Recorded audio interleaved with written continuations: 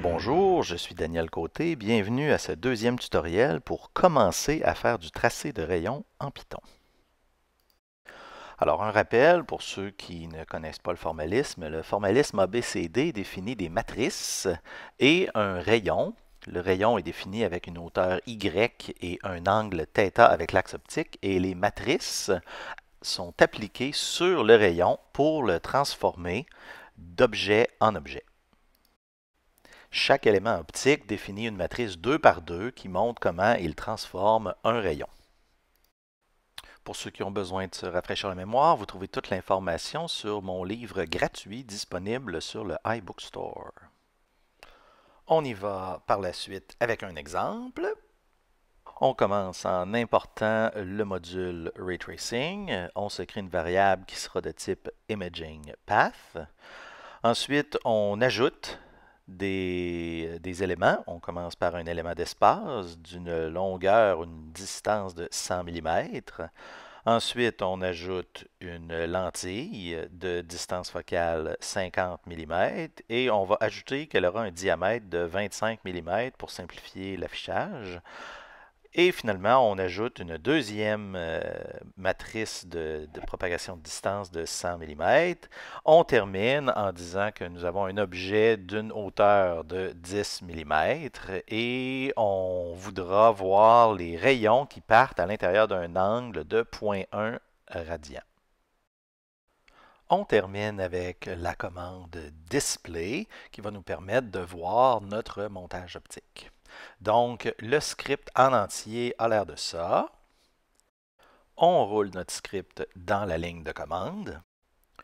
On obtient une figure à l'aide de Matplotlib qui montre notre lentille au centre euh, avec des petites lignes grises qui montrent qu'elle a un diamètre fini.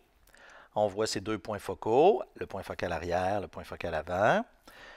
On voit l'objet qui est placé à l'entrée du système, à la position 0, qui est à 100 mm de la lentille, et l'image qui est aussi à 100 mm de la lentille, telle que calculée par la condition de l'imagerie.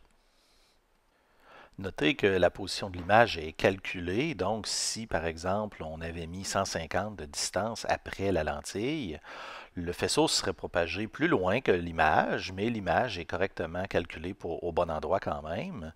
Puis si on met une distance qui est plus petite, ben, les rayons vont arrêter de se propager avant d'arriver à l'image, puis elle ne sera tout simplement pas affichée sur, euh, sur l'écran. Quels sont les éléments disponibles? Ben, il y a l'espace libre, les lentilles, les diaphragmes, les lentilles épaisses, les miroirs courbes, l'interface diélectrique, mais aussi des éléments avancés qu'on verra plus tard, comme les doublets achromatiques, les objectifs de microscope et bien d'autres.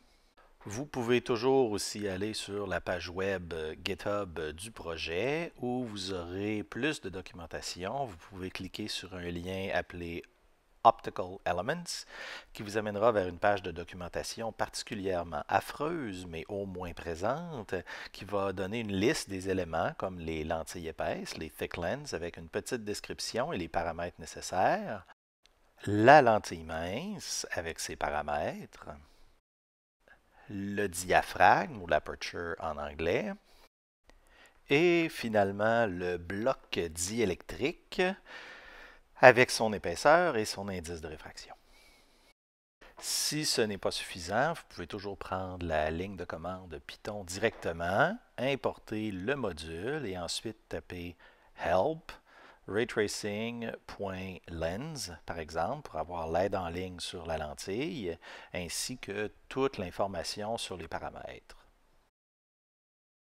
Vous pouvez aussi répéter, évidemment, avec les autres classes du module, comme la classe Aperture ou Diaphragme, et obtenir la même information.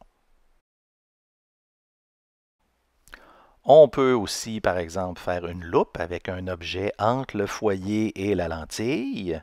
On va obtenir une image virtuelle qui est au foyer, dans le cas présent, avec la continuité des rayons qui s'interceptent à l'image virtuelle et qui semble provenir du bout de la flèche ici pour les rayons verts.